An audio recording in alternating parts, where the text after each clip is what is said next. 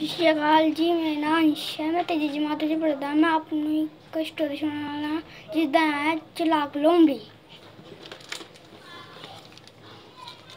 ਬਹੁਤ ਪਹਿਲਾਂ ਦੀ ਗੱਲ ਹੈ ਇੱਕ ਲੋਮੜੀ ਨੂੰ ਬਹੁਤ ਭੁੱਖ ਲੱਗੀ ਸੀ।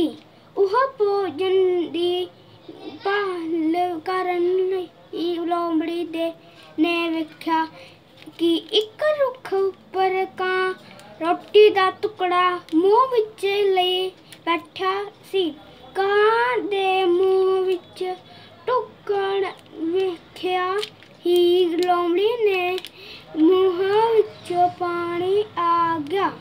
ਲੋਮੜੀ ਨੇ ਉਹ ਟੁਕ ਟੁਕੜ ਪ੍ਰਾਪਤ ਕਰਨ ਦੀ ਯੋਗ, ਯੋਜਨਾ ਬਣਾਈ। ਲੋਮੜੀ ਰੁੱਖ ਹੇਠ ਗਈ। ਉਸਨੇ ਕਾਂ ਦੀ ਆਵਾਜ਼ ਦੀ ਪ੍ਰਸ਼ੰਸਾ ਕੀਤੀ। ਉਹ ਕਾਂ ਨੂੰ ਮਿੱਠਾ ਗੀਤ ਸੁਣਾਉਣ ਲਈ ਕਿਹਾ? ਕਾਂ ਪ੍ਰਸ਼ੰਸਾ ਸੁਣ ਕੇ ਖੁਸ਼ ਹੋਇਆ?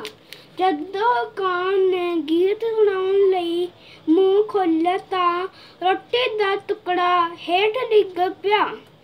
ਲੋਮੜੀ ਨੇ ਉਸ ਉਸ ਉਸ ਟੁਕੜੇ ਨੂੰ ਖਾ ਲਿਆ ਤੇ ਉੱਥੋਂ ਜਾਣ ਲੱਗੀ। ਲੋਮੜੀ ਨੇ ਉੱਥੋਂ ਜਾਂਦਾ ਖਾਂ ਨੂੰ ਕਿਹਾ ਕਿ ਉਹ ਉਸ ਦਾ ਗੀਤ ਫੇਰ ਕਦੀ ਸੁਣੇਗੀ। ਸਿੱਖਿਆ।